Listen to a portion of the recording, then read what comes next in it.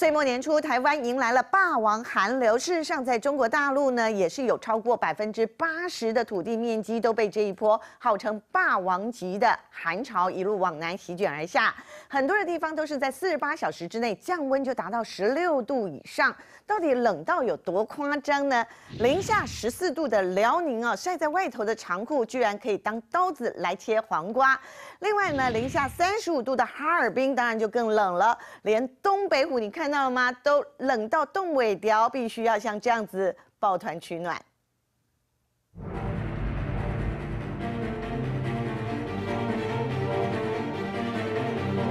这是你印象中的东北虎，高冷孤傲。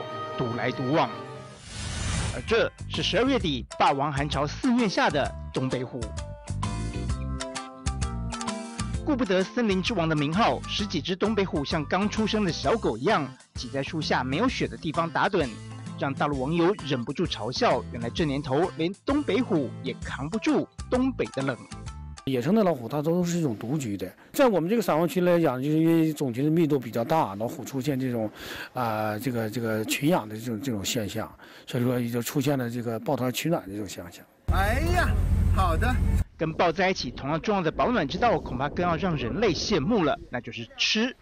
饲养员说，老虎夏天每天吃四五公斤的鸡肉跟猪肉，冬天要增加到六七公斤。冬季的时候呢，因为这它投喂量要占比夏季要高出百分之三十左右，所以说我们看到园区内的这个老虎呢，都可以说是膘肥体壮。走走就看见路边有个羊羊羊那个脑袋知道吗？露在圈外边，完了后我们就下去看，看了一下就都是活羊。除了黑龙江的虎，还有内蒙古的羊，被大雪埋到只剩一颗颗头，原来是遇到暴风雪来不及跑。雪风刮的都硬了，知道吗？那羊弄弄出来以后，基本上都走不动了。各种奇景只有一个原因，真的太冷了。十二月底跨年前几天，本来就有中国冷极之称的黑龙江省根河市，不负盛名，直接降到摄氏零下四十四点五度。大陆央视气象报告中，颜色越深代表气温越低，结果整张中国地图就变成了一只冻得发紫的鸡。跟二零一六年当年所谓的世纪寒潮相比的话，呃，在降温幅度上可能是可以匹敌的，但是在这个最低气温上应该是要略逊一筹。问题是这一波霸王级寒潮究竟怎么来的？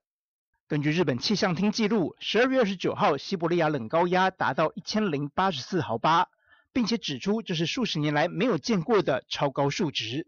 大陆媒体没有类似分析，但也强调这一波寒潮除了时间比较短，不至于造成严重的冰冻之外，降温幅度大，影响范围更遍及大陆八成以上的国土面积。西北地区东部到我国中东部大部地区，可以说是除了就是青藏高原地带没有没有受它影响之外，我国大部地区都受到它的影响了。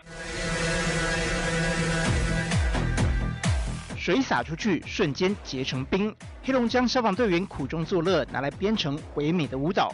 这样的天气下，就连更合适的邮差要出门，也得从人到车全副武装，穿的都是单位给我们发的棉衣、棉鞋、棉裤子，还有衣服什么的。里边总共穿了四层。车的那个电瓶就是里边有两组，这边要是没有电了，那边就得马上换人。邮差的工作不能停，要负责维持运煤列车运作的调度员也得出门上班。他们连眨眼睛都变成一门学问。出了几分钟以后就上霜，你还不能揉，它保护眼睛。你揉了以后，它湿了，上眼皮和下眼皮就容易粘上。更令人惊讶的是，内蒙古铁路工人在零下四十八度寒风中的工作，竟然是要帮火车头盖棉被。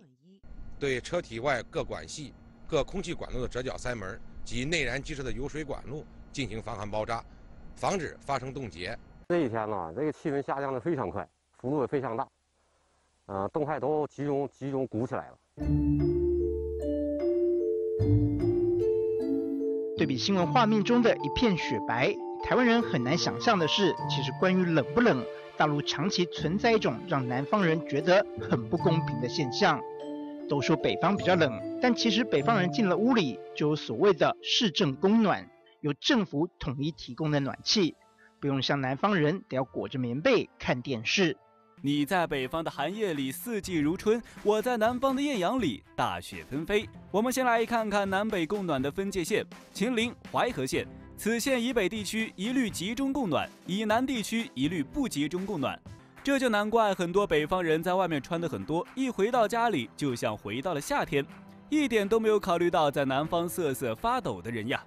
大陆决定供暖与否的界限已经延续数十年，但就这一波寒潮来看，所谓的零度线甚至负十度线也都明显往南移，而且南方的湿冷其实比北方的干冷更冷，这就难怪近几年有很多江浙、湖南等地的人大声疾呼，他们也要有集中供暖。TV 新闻综合报道。